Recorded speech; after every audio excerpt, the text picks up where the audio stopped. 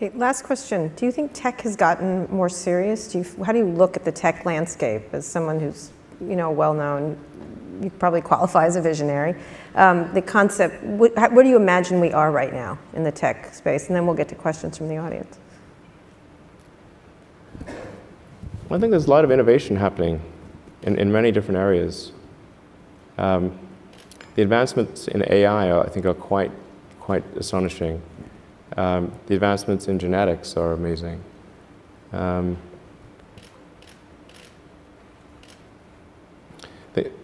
so I, I, think that there is a lot of innovation going on. Um, I think that there's probably a few too many talented entrepreneurs in kind of the internet space, and, and I think their talent actually would be better served in some other industries. Um, but I do think, that, I mean, I don't think we're like facing some sort of low innovation period or anything like that. I think there's a lot of innovation going on. They need to move to other.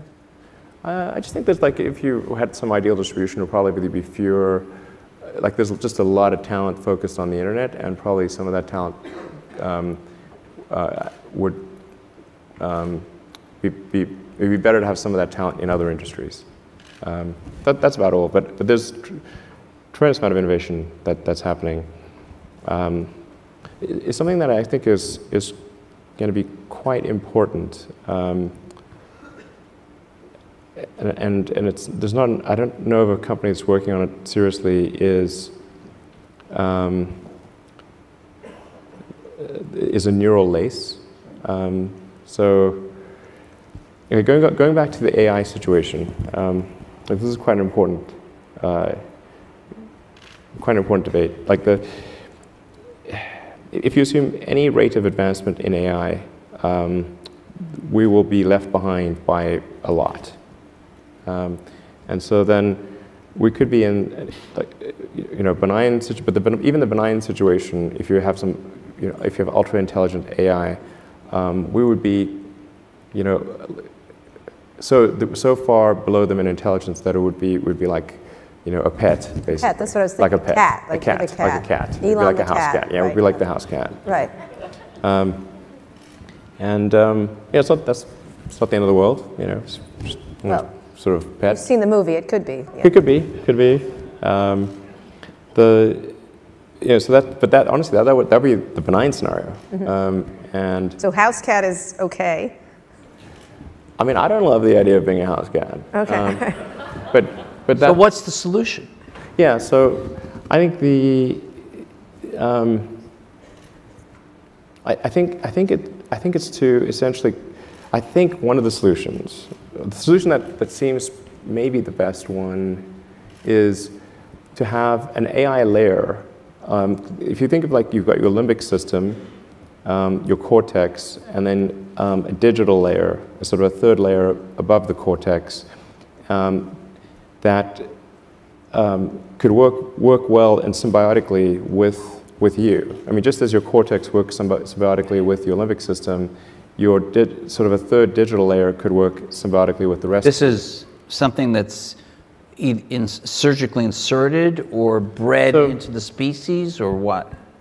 The, the fundamental limitation is input-output. So uh, we, we already have, uh, we, are already a cyborg.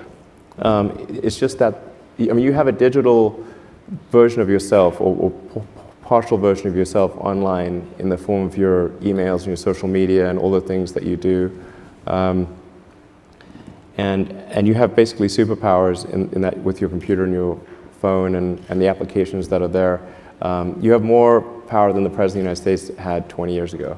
You can answer any question, uh, you can video conference with anyone um, right anywhere. You can send a message to millions of people instantly. Um, you know, you just do incredible things. And, um, but the constraint is, is input out output. So we're, we're IO bound, um, particularly output bound. I mean, like the, your output level is so low, it's like, particularly on a phone, like your two thumbs are sort of tapping away. Um, this is ridiculously slow. Um, our input is much better because we have a high bandwidth visual interface to the brain. Like our, our eyes take in a lot of, lot of data. Um, So there's many orders of magnitude difference between um, input and output. Um, so mostly um, effectively merging in a symbiotic way with uh, digital intelligence revolves around eliminating the I/O constraint. Um, so it's it'd be some sort of direct cortical interface. Um, and you called it a neural lace. Neur neural lace, yeah. Um, it's totally not Google Glass, right? No, I, am talking about something no, but it's which. Like you wear it, or you... no. I mean, it would be. Uh, I mean, it, I mean, there are a few ways to approach this, but some sort of interface directly with your cortical neurons, particularly. But doesn't that imply uh, surgical insertion? Not necessarily. You could go through the veins and arteries because that, that provides a, a complete uh, roadway to um, all of your neurons. Your neurons are very heavy users of energy, so they need high blood flow. So you automatically, with your veins and arteries, have um, a road network to your neurons. Still some kind of surgery, right? Um, yes, but it, you could insert something, you know, basically, you know, in, in, into the jugular and, and have, it gets macabre, but. It sounds I mean, really easy and. It, it doesn't involve, it doesn't, it doesn't involve, you know, like chopping your, your, your skull off or anything like that. That's yeah. good. Yeah. And plus, you're not a house cat anymore, right? Not a house cat. So, right. um, I mean, essentially, if, if we can figure out how to establish a high bandwidth neural interface with ourselves, with with your digital self, effectively, um, then uh, then you're no longer a house cat. You know? All right. On and, that note, no, on that note. Well, well, I, just one closing thing. I mean, I think it's probably are you the benign are outcome. you That's probably the best outcome, I think. Are you interested in exploring this possibility that you have just laid? So, somebody's got to do it. I'm not saying that I will, but I'm, somebody's got to do it.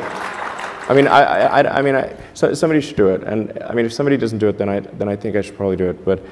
Uh, and, and the goal of this is to prevent there being an external uh, AI particularly one controlled by a small group of people that could yeah. be so much more powerful and intelligent than we are that the house it would be, it would be godlike in, situation in. Occurs. Yeah. Well, this has been really cheerful. Thank you. yeah. But, but, if, but if we can establish I was worried about asteroids at the beginning of this. I mean, asteroids are a low probability uh, existential threat um, on the time scale that's relevant to us. Okay. Okay. Um, this is different artificial intelligence. It's something that you and I have as a, a shared interest, and it's something that our audience is interested in as well. Um, the question here is a lot of experts in AI don't share the same level of concern that you do about the dangers ah, of AI. Fools. What, what Famous last words. What, spe what specifically do you believe that they don't?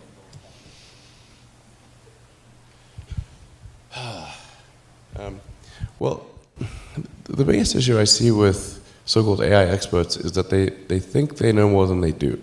Um, and they think they're smarter than they actually are. Um, in general, we are all much smarter than we think we are, but much less smart, dumber than we think we are, um, by a lot. So this, is, this tends to plague, plague smart people. Um, they just can't, they, they define themselves by their intelligence, and they they don't like the idea that a machine could be way smarter than them, so they discount the idea, which is fundamentally flawed. That's the wishful thinking uh, situation. Um, I'm really quite close to, I'm very close to the, to the cutting edge in AI, and it scares the hell out of me. Um, it's capable of vastly more than almost anyone knows, and the rate of improvement is exponential.